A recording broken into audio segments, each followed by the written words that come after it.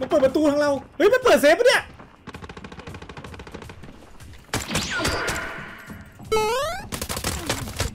ทำไมมัน มันวิ่งเร็วจังเลยเมื่อกี้หัวระยาเราไม่มีแล้วไอ้บ้าเอ้ย เรามาเจออะไรวะเนี่ยฮะ อาจจะเป็นเน็ตผมปล่าวะ เปิดประตู เขาเปิดประตูห้องข้างหน้าเรา เนี่ยเสียงย่องอยู่เลยครับ เห็นปะแค่น็อกว่ะ โอ้โห ตายดีเลยอีก คือเราไม่ได้หูฟังเทพนะครับ แต่เราใส่ GS2 มันก็เลยได้ยินนะ Wow. เขาก็ได้ยินเสียงผมนะ เขาก็ได้ยินเสียงผมย่องนะ สวัสดีมาดูทุกคนด้วยนะครับ เดี๋ยววันนี้เราจะมาเล่นปืนฟรีในกล่องบันเดิลเหมือนครับหลังจากที่คลิปนู้นเราเล่น M4 ไปใช่ไหมวันนี้เดี๋ยวจะมาเล่น M10 นะครับ ซึ่ง M10 จริง ๆ มันก็ไม่ได้คุ้มมากนะสำหรับการที่จะแลกเพราะว่าราคามันไม่ได้แพงมากอืม แต่ว่าเราจะมาเล่นให้ทุกคนดูแล้วกัน ควรใส่เก็บเสียงแหละใช่ไหมทุกคนเก็บเสียงประมาณหมื่นหนึ่งนะครับแล้วก็ใส่สโคป6หรือ 7 ก็ได้นะประมาณอีกหมื่นสองก็เป็น 2 2 0 0 0ถามว่าทำไมผมถึงต้องใส่เก็บเสียงเพราะว่าเวลาผมเล่นสไนยังไงมันก็ต้องเก็บเสียงไว้ก่อนอะเพราะว่าไม่งั้นถ้ายิงปังปังปังปังศัตรูรู้พอดีนะแนะนำอะให้เป็น X7 นะทุกคนแต่ว่าราคามันจะแพงกว่า ถามว่าทำไมเพราะว่าคูณ 7อะมันมีดอทตรงกลางเป้ามันจะเล็งง่ายกว่า แต่ถ้าเป็นคูณ 6อะมันจะไม่มีเอาเป็นว่าแล้วแต่ ชอบแล้วกันแต่ส่วนตัวผมจะเอาคูณ 6 นะ เพราะว่ามันถูกหมื่นสองแต่ถ้าแนะนำอะคือให้เพิ่มเงินไปประมาณ1 5ื่นห้าหมื่นหกเอาคูณ 7 ดีกว่านะครับไปเดี๋ยวไปลองดูแล้วกันว่าจะลุ่งหรือจะล่วง เดี๋ยวเราไปลุยช่องเขากันนะครับ ทุกคนคือไม่ได้เล่นช่องเขามานานละก็ขอหน่อยแล้วกันเอาจริงเอาจริงคือผมไม่ค่อยชอบเท่าไหร่นะเพราะว่าช่องเขามันจะมันจะเจอสไนแบบอย่างเงี้ย M110 บ้าง SJ บ้าง AX บ้างอะไรอย่างเงี้ย เดี๋ยวมาลองดูกันว่าเราจะรอดหรือเปล่าดาวเทียมไป มันน่าจะมีคนเกิดฝั่งนู้นปะ จำไม่ได้แล้วนะครับ เนี่ยซ้ายมือเราอะมันต้องมีคนเกิดนะอันนี้ขึ้นยังไงวะเนี่ยข้างหน้าท่าเรือก็ระวังนะครับทุกคนตรงท่าเรือมันมันมีเกิดได้ด้วยนะเฮ้ยเฮ้ยทำไมผ้ามันหนืดๆวะเนี่ยเป็นไรอะเฟรมเรทตกฝั่งนี้อาจจะมีคนเกิดระวังให้ดีนะครับทำไมเสียงหอบผมดังจังอะเฮ้ยทำไมดังจังอะเพื่อนคนนี่ว่าทุกคนใช่ปะเฮ้ยมีคนวิ่งมา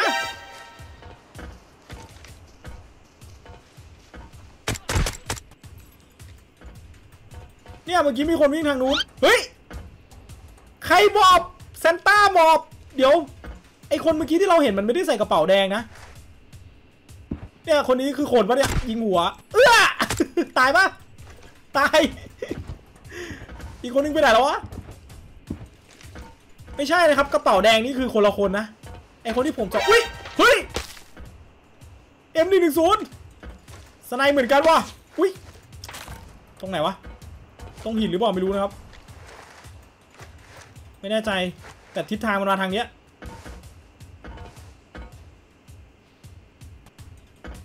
Nope. Nope.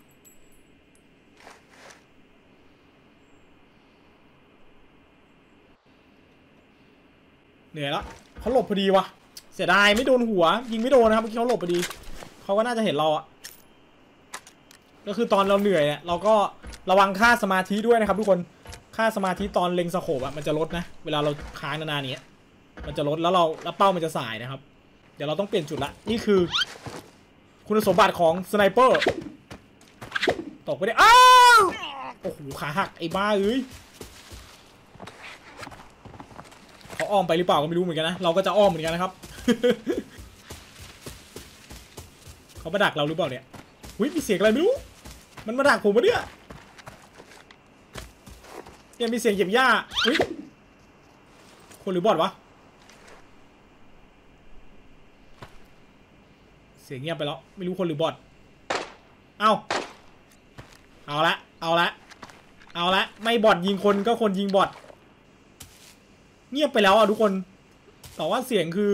ข้างหน้าเรานะ ผมว่าเขาอ้อมนะเนี่ย ไม่ใช่เราย่องย่องอยู่โดนยิงหัวนะ ผมก็ไม่รู้ว่าเขาจะเก็บศพเพื่อหรือเปล่านะครับ เนี่ยผมเสียว่าเขามาดักตรงนี้แหละ มันเป็นจุดเลยอะเฮ้ยปอดสไนเหรอ ใช่บอดยิงใครอะบอดยิงหรือเปล่าเมื่อกี้สไนบอดนี่ไงเฮ้ยบอดมันหันไปทางขวาทุกคนเนี่ยเห็นปะเห็นปะบอทเขาหันไปทางขวานะครับแสดงว่าต้องมีคนทางขวานะ เราต้องเชื่อในสัญชาตญาณของบอทผมรู้แล้วเขาต้องอ้อมมาทางขวานี่แหละ เพราะว่าบอดหันมาเนี่ยร้อยเปอร์เซ็นต์นะครับ อันนี้วิธีสังเกตเลย ไม่ใช่เราวิ่งวิ่งอยู่โดนยิงเลย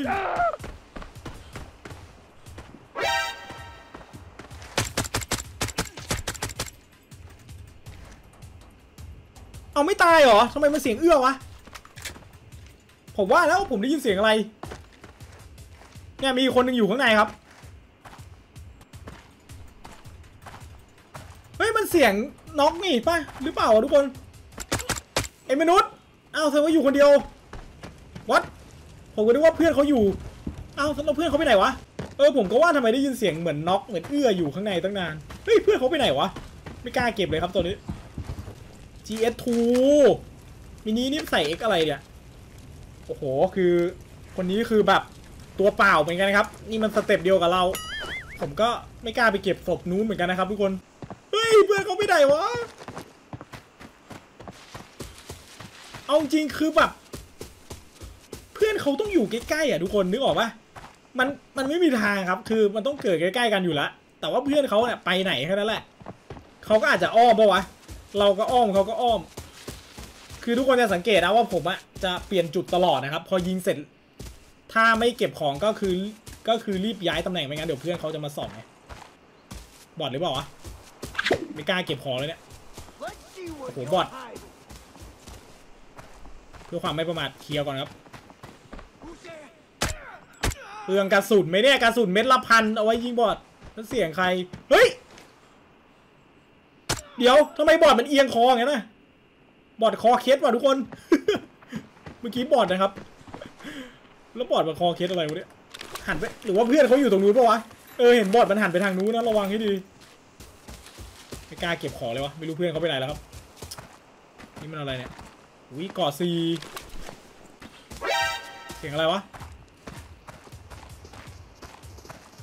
คนหรือบอดวะเนี่ยหูฟังเรา GS2 นะครับ คือเสียงเขาอยู่ไกลกว่าที่เราได้ยินนะทุกคน หลังเนินนี้เขาเก็บของเพื่อนไปเนี่ยถอยก่อน มือสไนที่ดีต้องทิ้งระยะห่างจากศัตรู Wow. ดูก่อนดิ น่ากลัววะไม่รู้เขาปืนอะไรด้วยครับ กี้มันหลัง เสียงแบบน่าจะอยู่หลังไม้หลังเดินไปอีกนะ เฮ้ย ใช่คนวะน่ะเมื่อกี้เห็นเหมือนอะไรเล็งว่ะ Nope เฮ้ย เฮ้ย เฮ้ย ผมยิงไม่โดน แต่เขายิงปืนอะไรอะนัดเดียวอะมาละ ชิบหายแล้วครับเกือบตาย โมซินเหรอ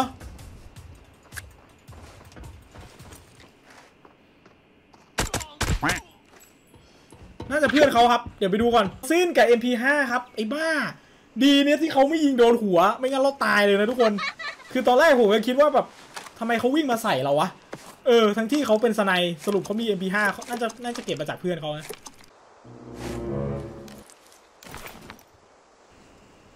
ใครย่องวะ เอ้า บอดเหรอ รู้สึกว่ามันเหมือนมันจะเป็นบอดตัวแฝง Nope. ก่อสี่ด้วย นี่ไงตัวแฝงทุกคนแฝงอีลิทมันไปเก็บไอ้ศพไอ้คนนั้นมาไง อันนี้ใช้เก้าโอเค เดี๋ยวเราเอาเกาะนี้กลับไปเกาะเต็มนะครับห้าสิบห้าเกาะคนนี้แล้วกัน เนี่ยเกาะคนนี้เจ็ดสิบเออไปขายได้สปาร์ตันเรามันมือสามละหมดแล้วมั้งไม่น่าจะมีแล้วนะเพราะว่าตีนี้สี่นี่คือเราออกได้แล้วจริงๆอะ่ะไม่ต้องไปหาละคือผมรอบนี้ผมจะไม่ได้ไปเปิด safe นะทุกคนพอดีว่าลืมเอาออกมาเลยครับเมื่อกี้ เมื่อกี้ลืมเปลี่ยน มันยังเป็นกุญแจคลังแสงอยู่เดี๋ยวไปดูค่า LV หน่อยก็ได้นะ คือถ้าไม่มีก็ออกนะครับ เพราะว่าเผื่อเจอ boss เฮ้ย boss เหรอโอเค ไปดีกว่าครับทุกคนน่าจะมีใครดักนะครับกลับมาโดดมาดูกันว่าออกเท่าไหร่เกือบ2 0 0แสนก็คุ้มอยู่นะเอาจริง รอบนี้เราไม่ลืมกุญแจแล้วนะครับ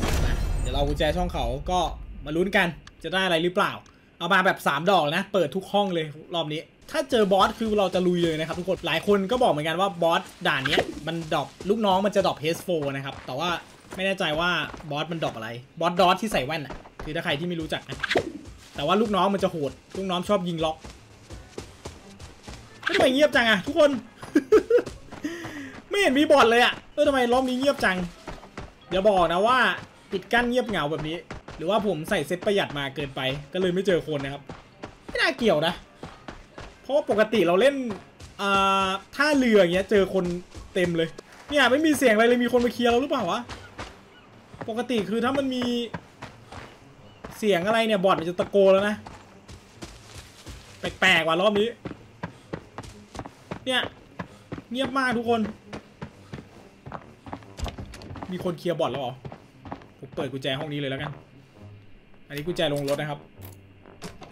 มาลุ้นกันกุญแจนี้ห้าหมื่นก็ตีเป็นรอบละห้าพันโอ้โห ดูดูบอทมันเดิน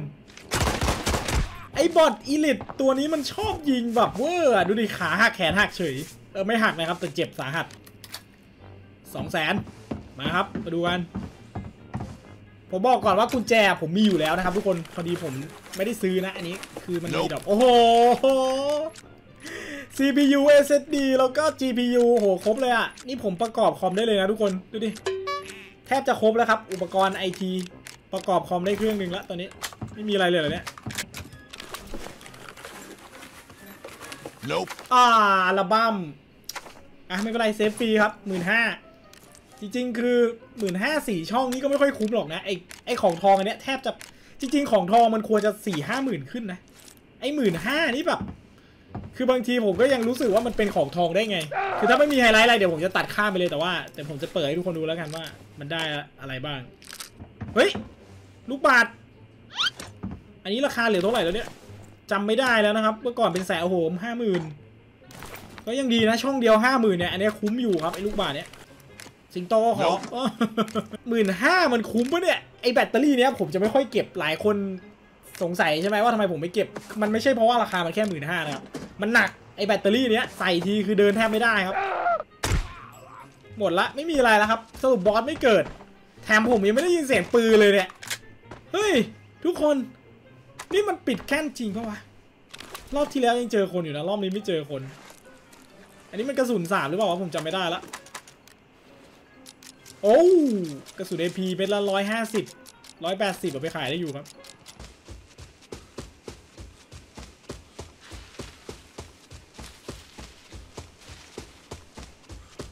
มีคนดักปะวะ เสียวอยู่เหมือนกัน เฮ้ย ตกใจ แล้วบอดทำไมมันตะโกนอย่างนี้ะหน้าตานึกว่าแฝงอีลิทก็เสียวเหมือนกันครับเผื่อเจอแฝงอีลิทเฮ้ยแล้วใครวิ่งมาแล้วบอดหรือคนมาแล้วคนเฮ้ยคนเฉยทุกคนโอ้เขาวิ่งไปทางเดียวกับเราเขาจะออกเหมือนเราปะเนี่ย อ้าวตาย โดนไปสองนัดครับ เจอคนเฉยเราไม่ได้ดักนะ อันนี้เดี๋ยวผมแบบให้เห็นเลย คือวิ่งมาจะเอกกันพอดีครับ ผมว่าเขาน่าจะไปออกทางเดียวกับผมอะแต่ผมยิงสองนัดตายเลยนะเมื่อกี้ โอ้โหเกาะห้าอุ้ย อันนี้ M4 บันเดิลวะถ้าไม่ AK เขาแต่งเวอร์จัง เอา M4 มาเลยละกันจะเอกกันพอดีนะทุกคน เป็นความโชคร้าย แต่ผมยิงสองนัดนี่คือแบบโดนเกาะเขานะ ไม่ได้โดนหัวนะอุ้ยเต็มกระเป๋าเลยว่ะคนนานอย่างนี้จะบอกว่าเป็นสิงโตนะเพื่อน ไม่น่าใช่แล้วล่ะ อันนี้มันกี่ช่องวะเนี่ยแปด ปืนอะไรวะเขาเก็บปืนอะไรมานะครับไม่รู้ SVDS อุ้ยอัลบั้มรูป 45,000เลยเหรอ เชื่อค่าอาวีทำไมเขาไม่ออกค่าอาวีวะทุกคนเขาวิ่งมาออกทางเดียวกับผมนะ เออแปลกเหมือนกันครับอุ้ยแต่ว่าเรากระสุนไปขายได้อยู่นะ กระสุนแบบเพียบเลยอะคนเนี้ย อ๋อ มันแพงเพราะว่าไอ้สโคปอันนี้ครับ อะเอามาแล้วกัน แค่นี้แหละ เพราะปืน เอาจริงปืนมันไม่ค่อยแพงนะ กระบอกละสี่ห้าพันเอง อันนี้เราควรจะต้องทิ้งอะไรไปบ้างเนี่ย อันนี้สามพัน อันนี้ อันนี้ไม่ค่อยแพงเท่าไหร่สองช่องสองช่องพันห้าไม่น่าคุ้มนะครับ อันนี้คุ้มกว่าแบตเตอรี่เนี่ยผมยังคิดหนักอยู่นะทุกคน คือแบตเตอรี่มันหมื่นห้าแล้วมันหนักด้วยนะ เนี่ยเรามีอันนี้เราเอานี้ไปดีกว่าไหมแบตเตอรี่เราทิ้งดีกว่าไหมเนี่ยหมื่นห้าหกช่องเนี่ย เวลาเหลือเท่าไหร่วะ โอเค ประมาณนี้แหละทุกคนผมว่าสองนาทีทันปะวะ มียาแดงอยู่นะครับไม่เป็นไร เดี๋ยวเดี๋ยวเราจะออกค่ายอาวีหรือตรงไหนดีโอ้โหค่ายอาวีโอ้ยอยู่สกไกลไปไม่เป็นไรครับออกที่เดิมดีกว่าคือจริงๆมันออกค่ายอาวีมันจะดีเลย์สามสิบวีด้วยนะสามสิบหรือเท่าไหร่ไม่รู้อะเพราะฉะนั้นก็ไม่เสี่ยงนะครับเดี๋ยวเราวิ่งตรงนี้ดีกว่าเรามียาแดงวิ่งทันอยู่แล้วน่าจะมีใครดักแล้วนะไม่มีคนเลยรอบนี้ แต่ก็ยังได้ปืนอยู่นะครับ ไปจ้าเอ๋มนุษย์พอดีนะ มันสี่แสนเพราะอะไรวะเนี่ย M4 ก็ SVD แล้วก็ทำไมมันเงียบวะทุกคน ไม่มีเสียงบอดเลย บอสไม่เกิดไหมเนี่ย เนี่ย ไม่มีเสียงตะโกน อุ๊ย น่าจะบอดลูกน้องบอสหรือคน โอ้โห ลูกน้องบอสครับ อุ้ยยิงพลาดเปลืองกระสุน นัดละหนึ่งพันเฮ้ยทำไมบอสไม่เกิดเลยอะ คือเสียงอันนี้มันมันมันมีแต่ลูกน้องนะครับ อันนี้ไม่เป็นบอทอีลิทอุ้ยมันนั่งโยก มันนั่งโยก มันนั่งโยกแล้วขึ้นอะไรมาเนี่ย กลุ่มติดอาวุธ elite เนี่ยแหละ อันนี้ก็คือ 3 ตัวเนี้ยมันคือบอท elite ก็ถ้าไม่มีอะไรจริงเราก็มาฟาร์มกระสุนเอาแล้วกันครับ กระสุน3กระสุน3แพงอยู่ safe ขอหน่อยครับพี่ safe ฟรี ยังไม่มีคนเปิด โอ้ห้าหมื่นเก็บไว้ใน safe แล้วกัน ข้างในตรงริมทะเลดีกว่านะครับ อุ้ย มันบอทหรือเปล่าวะ บอทยิงคนหรือไม่ก็คนยิงบอทนะครับ เพราะว่าสไนนี้มันเป็นสไนบอทนะ ไม่น่าจะยิงฝั่งเนี้ย น่าจะยิงจากฝั่ง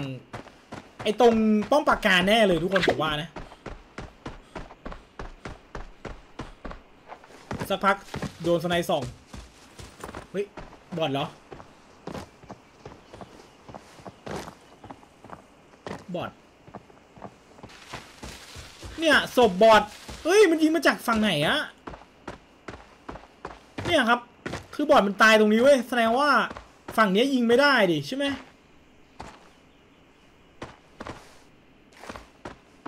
ทำไมบอทมันตายอยู่ตรงนี้วะ อันนี้อุ้ยตกใจ มันมีกล่องด้วยครับ เนี่ยมันต้องยิงมาจากฝั่งขวา คือถ้าฝั่งเนี้ยลิยิงอะ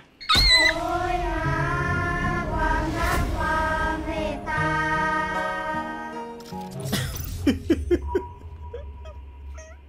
ดูมันดีทุกคน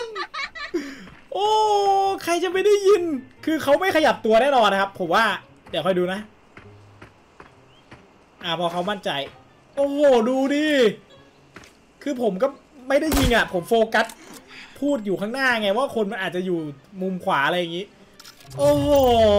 เวรกรรมครับจากเกมที่แล้วที่เราไปยิงคนอื่นฟรี เกิดฝั่งนี้ก็ระวังให้ดีนะครับทุกคนคือตรงเนี้ยมันจะเป็นจุดที่มีเกิดทั้งซ้ายกับขวาเนี่ย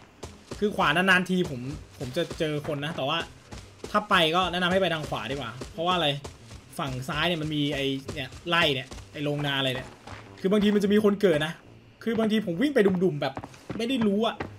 คนเกิดปุ๊บยิงปั๊บเลยนะ ข้างหน้านี้ก็เหมือนกันนะครับ เนี่ยมันจะมีนั่นไงบอท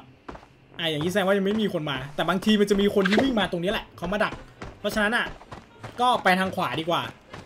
นะครับ แต่ก็ไม่ใช่ว่ามันจะปลอดภัยนะก็ต้องเช็คด้วยนะครับ แต่ส่วนใหญ่ผมจะวิ่งตรงไปเลย แล้วก็โดนค่ายอาวียิง คือค่ายอาวีกับตรงเขามันจะชอบมีคนเกิดเฮ้ยคนหรือบอทวะ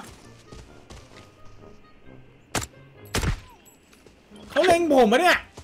สไนแน่เลยอะทุกคน โอ้โหมนุษย์ไอ้มนุษย์ถือสไนอีกแล้วไอ้บ้าเอ้ยเดี๋ยวก่อนโหไม่มีอะไรเลย เพื่อนเขาอยู่ปะเนี่ย เช็คก่อนนะครับอย่าเพิ่งเก็บ ผมก็เสียวเหมือนกัน อันนี้มันมือสไนมัน Mosin ปะวะเนี่ย scope ใหญ่ด้วยครับทุกคนโอ้โห Mosinสโคบแบบใหญ่เลยเอามาเดี๋ยวเดี๋ยวผมเอากระเป๋าเขาดีกว่า รู้สึกว่ากระเป๋าเขาจะใหญ่กว่าเรานะครับแคมปิ้ง เอากระเป๋ามาแทนแล้วกัน ไม่น่าจะมีแล้วนะ เงียบอีกแล้วอะแปลกๆว่ะ วันนี้รู้สึกว่าไม่ค่อยเจอคนนะ เดี๋ยวผมอาจจะเล่นเกมสุดท้ายแล้วนะทุกคน เพราะว่าเดี๋ยวเราต้องไปตัดคลิปอะผมกลัวตัดคลิปไม่ทันแล้วเดี๋ยวมันจะลงดึกนะทำไมบอสมันตะโกน บอสเกิดเนี่ย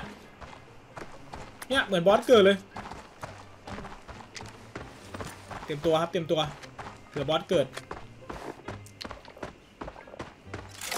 าวทำไมเงียบวะ ไม่น่าใช่ละ ปกติถ้าบอสเกิดมันจะตะโกนแบบเยอะกว่านี้นะ เฮ้ย มีคนเฉยเลยทุกคน เดี๋ยว แล้วเขาส่องมาทางผมพอดีนะ แต่เหมือนเขาเก็บของหรือเปล่าวะทำบอสตะโกนไล่หลังลงมาเพื่อนเขามีปะเนี่ย เสียววะเราเชื่อมั่นใน M110 ไม่น่าจะมีนะ เอาอันนี้อะไรเควส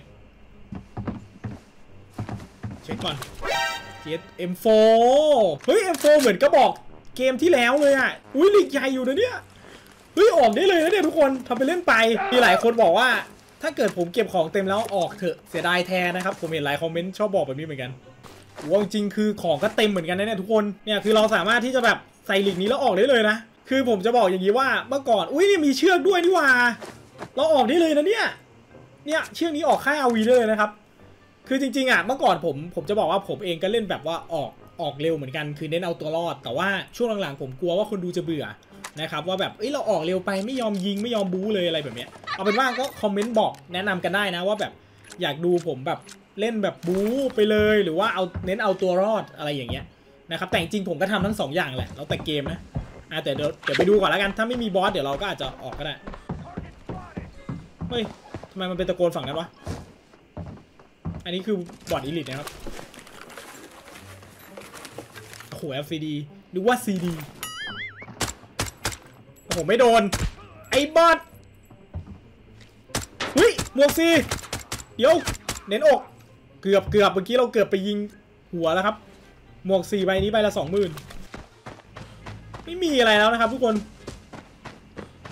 เออ ไม่ได้ยินเสียงปืนเลยอะผมว่าเราออกเลยก็ได้นะ เพราะว่าเราได้ของกระสุนจากบอดแล้วก็หมวกสีด้วย อันนี้ถือว่าออกเร็วแล้วกันเดี๋ยวแถมให้นะครับเดี๋ยวเล่นอีกเกมหนึ่งเพราะว่าตอนแรกผมไม่คิดว่าจะได้ออกเร็วไง แต่มันมีเชือกเชือก RV จากคนเมื่อกี้พอดีเราก็เลยออกเลยนะ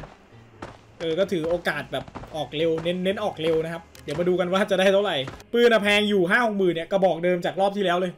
เฮ้ยเอาจริงเล่นอย่างนี้ก็คุ้มเหมือนกันนะ ออกเร็วๆได้สองแสนเนี่ย เดี๋ยวเราวิ่งไปเลยแล้วกันนะครับทุกคนไหนๆก็เกิดใกล้แล้ว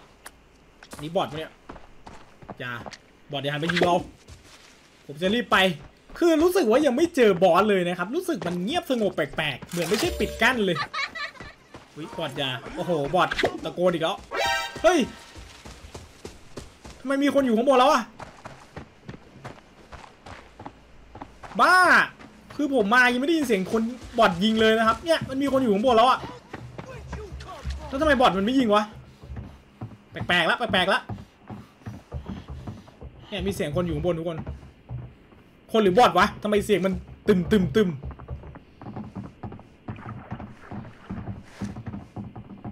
มันเปิดเซฟปะเนี่ยเฮ้ยทำไมมันเดินแบบไม่ไอ้นี่เลยอะเฮ้ยใครเปิดประตูฝั่งนู้นเอ้าบอดเหรอเนี่ย เซฟไม่เปิดบอดเหรอ เฮ้ย บอดมันมันยิงแรงจังอะ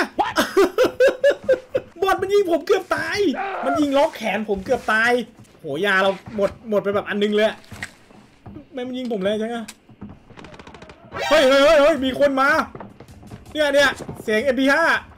ชิบหายละเฮ้ยเขาขึ้นบันไดมาแล้วอะทุกคน เนี่ยมีเสียงคนเหยียบข้างหน้าด้วยเนี่ยไอคนนี้วิ่งมาทางเนี้ย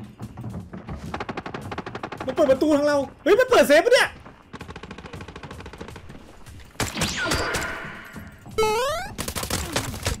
ทำไมมันมันวิ่งเร็วจังเลยเมื่อกี้หแล้วยาเราไม่มีแล้วไอ้บ้าเอ้ยเรามาเจออะไรวะเนี่ยฮะ อาจจะเป็นเน็ตผมเปล่าวะทุกคนได้ยินเสียงไหมเรามาฟังเสียงกันนะครับ มีคนเหยียบน้ำแบบย่องมา เนี่ยขึ้นบันไดมาได้ยินไหมได้ยินไหมนี่คือเสียงเหยียบบันไดนะเนี่ย